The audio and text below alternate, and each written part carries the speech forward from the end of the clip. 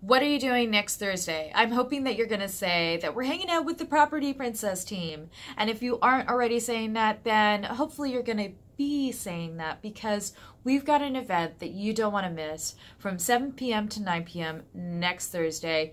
And you're probably wondering where. Well, to help with that clue, I'm going to play a little bit of a sound to give you a hint.